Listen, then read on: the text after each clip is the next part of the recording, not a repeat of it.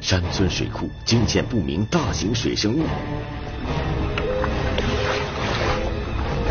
看到老瓜只有长大，应该说老是悄悄的吧。北边风气发亮的，看起水怪屡屡现身，村民人心惶惶。哦，可能是以前蟒蛇啊啥的。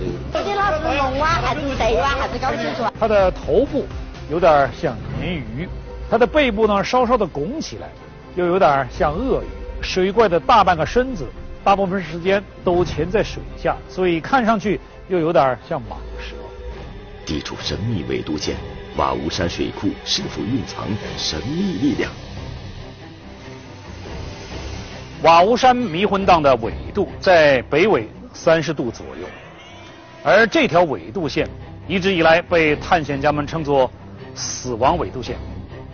记者深入调查，却遭不明生物袭击。七十米，现在在七十米。哎，要了，要了，要要要要要！最先进的仪器，最全面的搜索。瓦屋山水怪之谜能否最终揭开？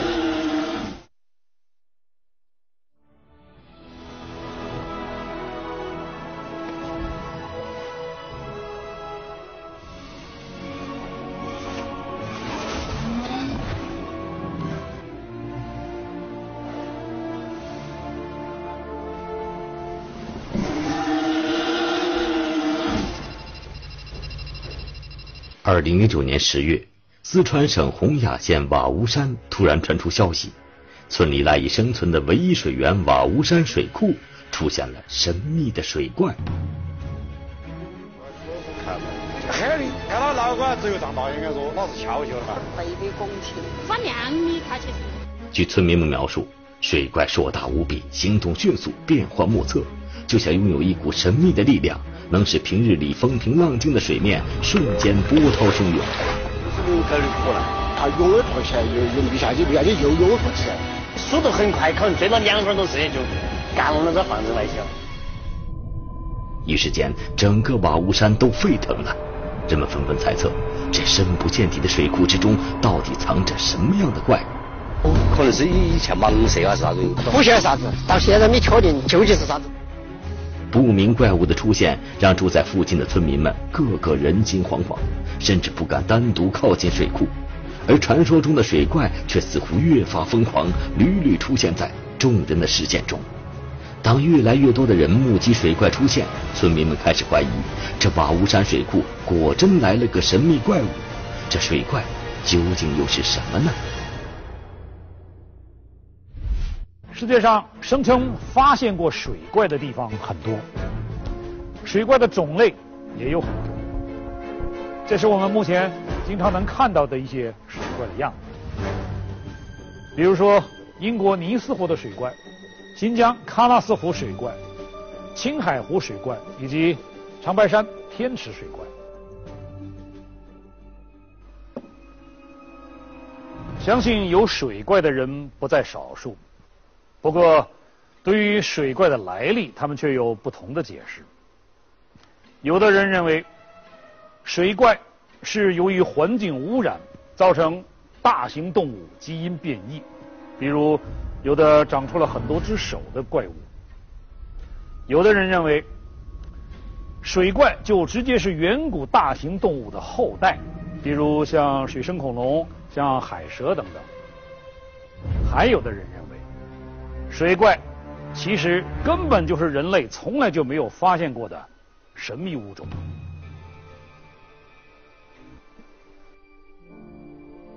因为人们迟迟无法破解其中的奥秘，水怪一直就没有走出人们的视线。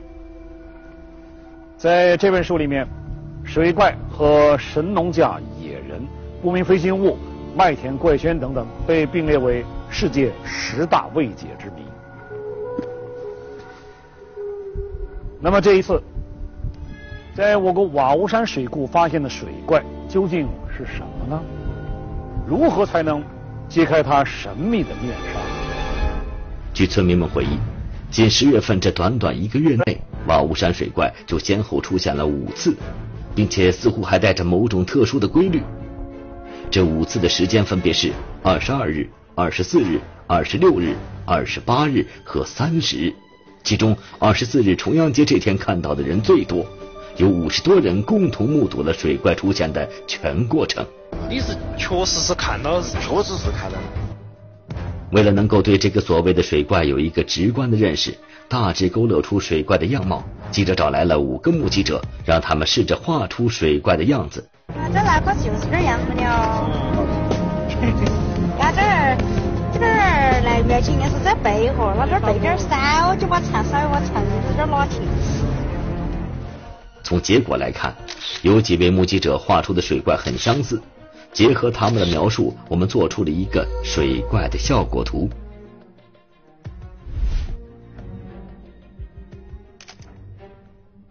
据目击者的描述，生活在瓦屋山水库的水怪大概有这样一些特征：它的头部有点像鲶鱼，就是那样；它的背部呢稍稍的拱起来，又有点像鳄鱼。由于水怪的大半个身子大部分时间都潜在水下，所以看上去又有点像蟒蛇。它的整个身体长大约有二十米。这是著名的英国尼斯湖水怪的照片。据说英国人早在一千五百多年前就发现了它。最初的目击者是一个叫圣哥伦布的爱尔兰神职人员。当时他到尼斯湖旅游，他在那里亲眼看到了湖中有水怪就要袭击游客，情急之下，圣哥伦布大喝一声，水怪听了马上又潜入了水底。一九三三年，尼斯湖旁边开始修建公路，从那以后，有关尼斯湖水怪的目击报告就越来越多。到二零零零年，这一年就有十二次报告，在这期间。科学家用声呐探测器多次在尼斯湖大面积的搜索探寻，但是都没有发现尼斯湖水怪的任何踪迹。那么，尼斯湖到底有没有水怪呢？水怪到底长什么样子呢？对这个，英国人已经争论了好几百年了。直到今天，大多数人都认为尼斯湖水怪很可能是恐龙的远房亲戚。一种古老的水生爬行动物——蛇颈龙。和尼斯湖水怪比起来，我国瓦屋山水库里的水怪也有着长长的脖子和扁平的脑袋。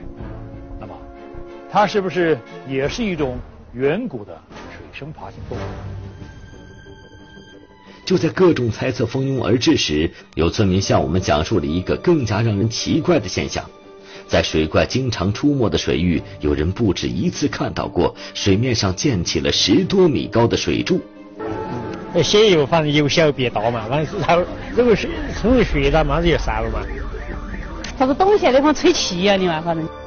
不仅有多位村民表示自己亲眼看到过这些神奇的水柱，还有人用手机和相机拍了下来。其中这三张照片最为清晰。从照片上，我们可以清楚的看到。水面上确实有个十多米高的白色柱状物体，村民们怀疑这些水柱就是湖底的水怪所为。除了水柱，有没有看到其他的？没有看到其他，就是看到这个什么水在水库的水面了，水的上。那那个水面上面有没有看到啥东西？水面上看的是很蓝、很平静的、很风平的。然而，当我们把照片放大、仔细观察水面时，却没有发现什么大型水生物。从照片上看。这些水柱倒更像是一种叫龙吸水的自然现象，但龙吸水的现象是龙卷风经过水面时形成的，并且多发生在大江大湖或者是海面上。像瓦屋山水库这样的环境，怎么可能发生龙吸水现象呢？并且这一猜测也很快被村民们否定了。你看到有没有风？你感觉嘛？有风才上去它要有点摇动了那些嘛。就在记者试图多方寻找答案时，一个蹊跷的巧合似乎让人们找到了些头绪。出现水怪的瓦屋山水库紧邻久负盛名的瓦屋山迷魂荡。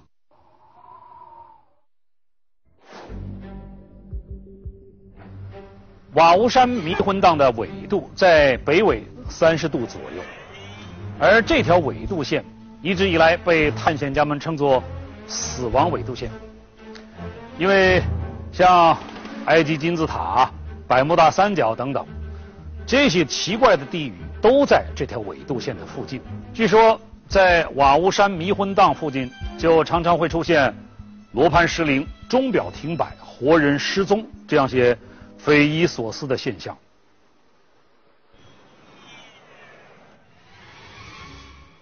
据报道，在一九七九年，曾经有一支森林考察队进入了瓦屋山迷魂荡，可结果他们在里边转悠了三天三夜，然后发现他们还在原地。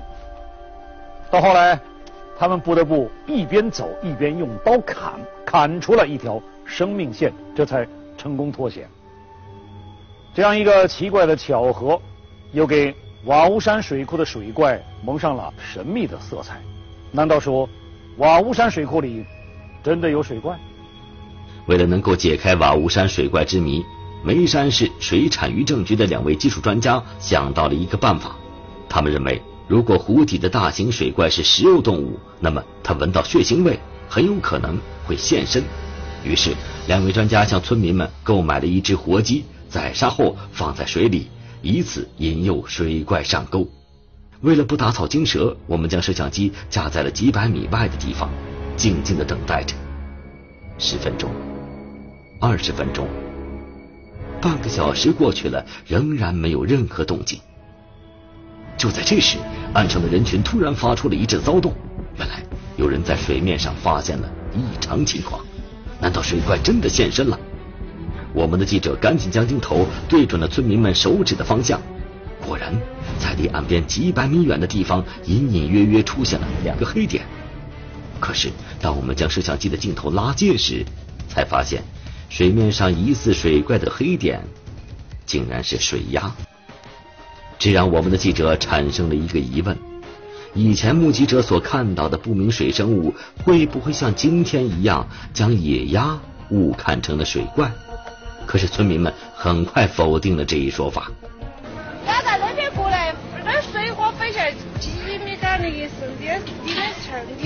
水火又没说吃的。经过一天的守候，传说中的水怪并没有出现，而村民们口中那些奇怪的现象也再也没有发生。寂静的湖面让人不由得对这一系列传言中的瓦屋山水怪事件产生了怀疑。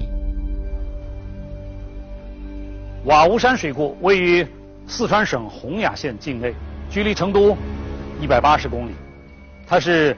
青衣江支流、周公河的等河流汇集处。经过测量，水库最高水位是一百一十米，库容量也就是五亿八千四百万立方米。和青海湖、新疆的喀纳斯湖比起来，瓦屋山水库还不到他们的十分之一。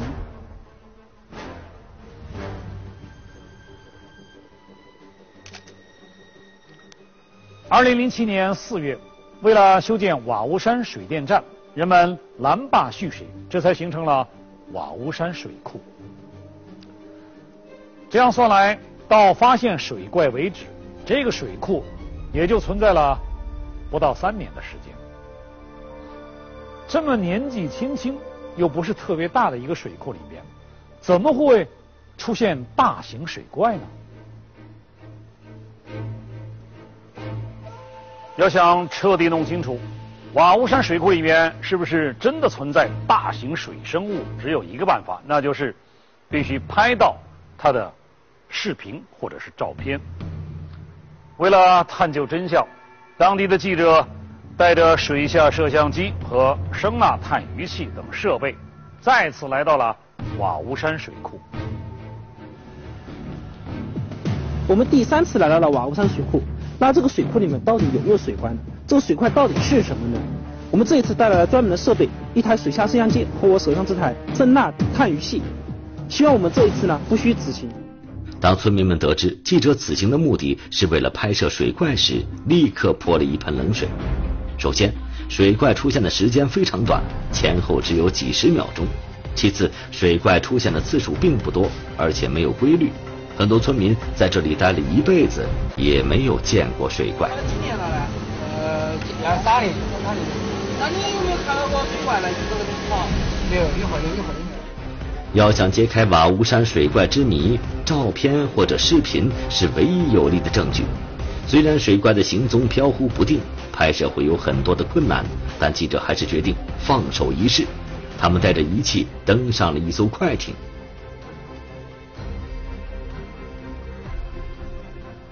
呢，根据这个探测器上面它提示的信息呢，现在呢，我们这个位置的水深大概是八十七米左右到八十八米，然后水面的水中的温度呢，大概是在十八度左右。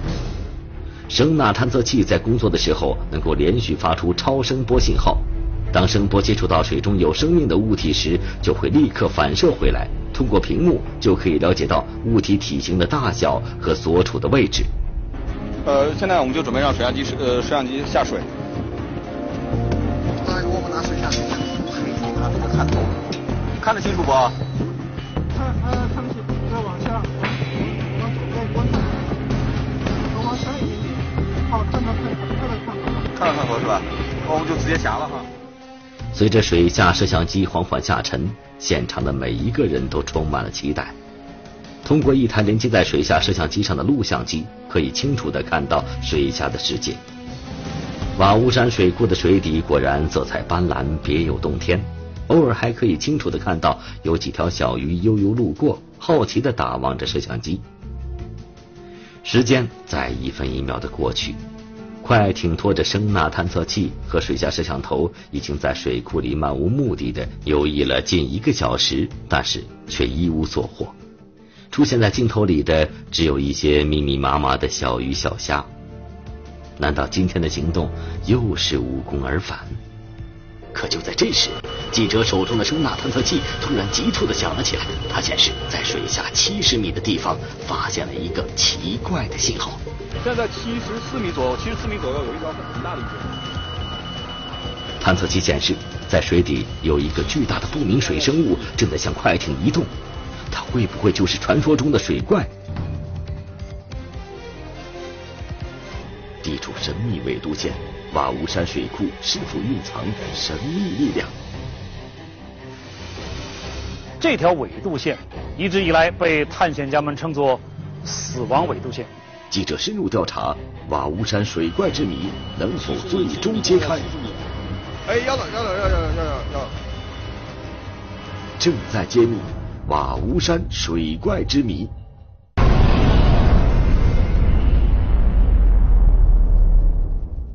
记者试着用水下摄像机进行搜索，可是由于瓦屋山水库的水底杂草众多，加上水流很急，能见度非常低。水下摄像机搜寻了半天，还是一无所获。人们心中刚刚升起的兴奋和希望，再次变成了失望和沮丧。可就在这时，记者突然感到拽在手中的摄像机连接线出现了异常颤动。哎，要了，要了，要要要要要！记者发现水下有一个不明水生物正在疯狂的拉扯着我们的水下摄像机。至于这个不明水生物究竟是什么，由于录像机画面一片浑浊，一时还无法判断。因为担心用力过猛，摄像头会脱落，欣喜的记者并没有贸然的将摄像机拉出水面，而是继续在水中放线，想看看这个不明水生物究竟要干什么。这一招果然很有效，水下的画面平稳了很多。就在这时，我们惊喜的发现，在摄像机的前面有一条大鱼在游动。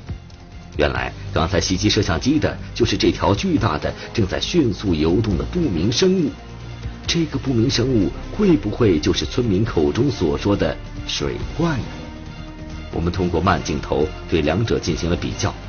不明生物的身躯从表面上看是黑色的，这一点和目击者对水怪的描述是一致的。黑的，就是个海里。再看大小，据村民们讲，水怪有十多米长。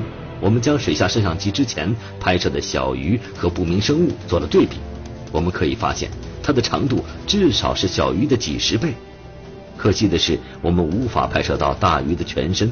于是，我们继续放长线，并试图调整摄像机的角度。可就在这时，水下突然变得平静起来，那个不明生物逃离了我们的视线。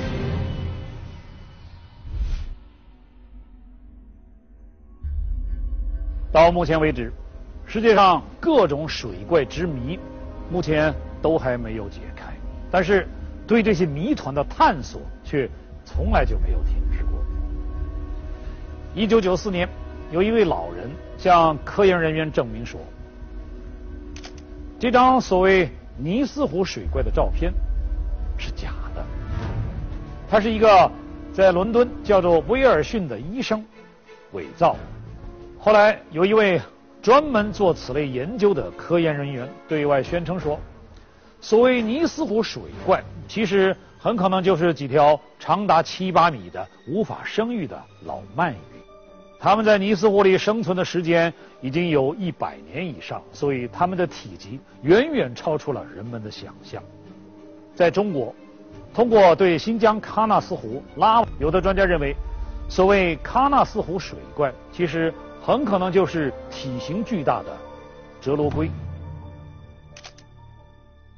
折罗龟是一种淡水食肉鱼，它性情凶猛，体型巨大，一般体长都在一米以上。到目前为止，发现的最大的折罗龟有四米长，体重重达九十公斤。这种鱼，它的尾部和背部出现。橙红色，所以在新疆，人们也把它叫做大红鱼。那么，这次出现在瓦屋山水库的水怪，是不是也是一种体型巨大的鱼呢？据说瓦屋山水库自2007年4月拦坝蓄水以来，库区内出现了大量的鲢鱼、鲫鱼和草鱼等，不仅数量多，而且有些鱼的体积极大。还有人说，瓦屋山水库虽然建成还不到四年，但是在建水库之前，这里的地下就有不少的溶洞和暗河，有些溶洞更是深不可测，完全有可能出现大型鱼类。抬到不可能是鱼，那鱼没能抬的。因为这个水深这么大的个体，他们说的三十米长，你说要一百多斤重嘛，要有百把斤重，至少要哦，百把斤重的这动物的话，在我们这山区啊。也是非常少见，很水。瓦屋山水怪事件在当地闹得沸沸扬扬，还有人根据目击者的描述，联想到了在电视上看到的蟒蛇。瓦屋山水库的深处会不会也生活着一条巨大的蟒蛇呢？因为说陆生多的话，要在蟒蛇一般都是热带和亚热带居住哈，它那个我们地方是医生说话，这个是几乎不成的。由于迟迟解不开水怪之谜，人们的猜测也变得天马行空。有人甚至说。瓦屋山附近的瓦屋山迷魂荡地区，森林茂密，甚至还有大片的原始森林。所谓的水怪，很可能是从迷魂荡里跑出来的某种大型动物。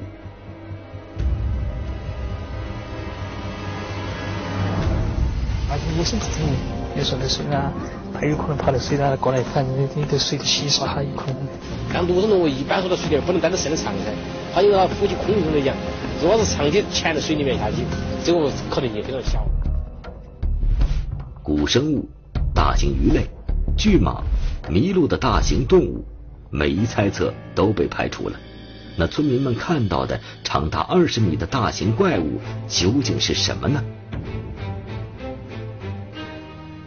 近几十年来，我国关于各种水怪的传言也越来越多，像。新疆的喀纳斯湖水怪、长白山天池水怪、青海湖水怪等等等等，尤其是近几年，关于水怪目击事件更是层出不穷。对不相信水怪的人们来说，他们对这些事情都提出质疑，说这不过是当地为了促进旅游事业的发展而精心策划的炒作手段而已。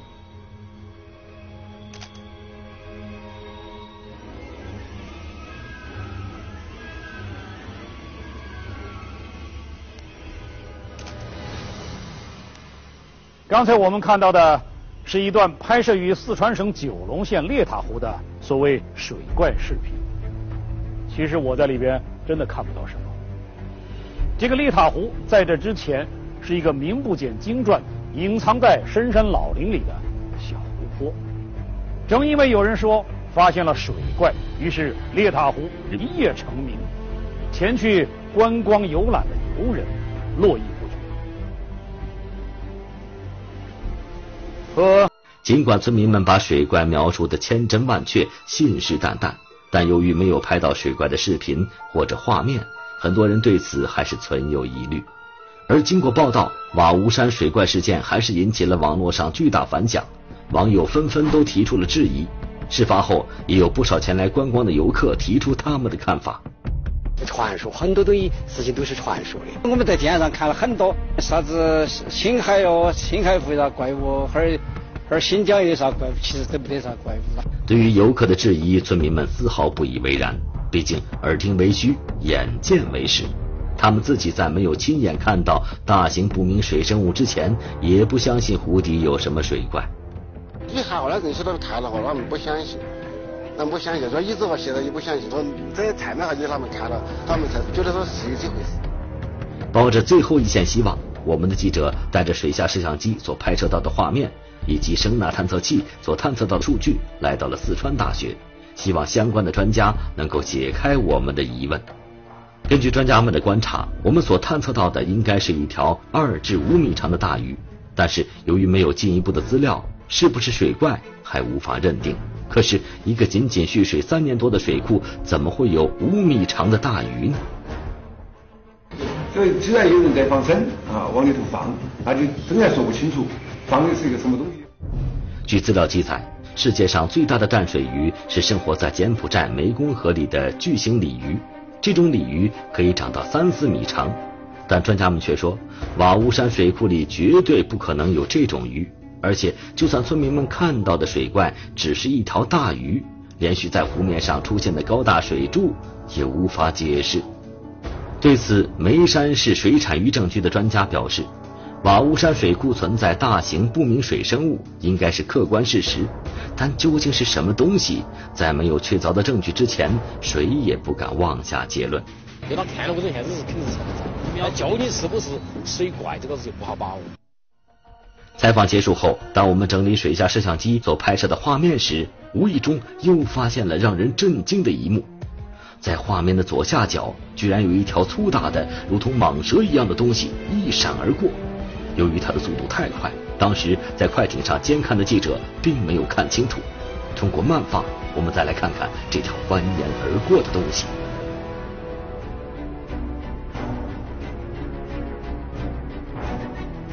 因为没有更多的画面对比参照，我们还无法弄清这如同蟒蛇一样的东西到底是什么。也许是水怪，或者巨大的鲶鱼，又或许仅仅是水中的一截绳子或一段木头。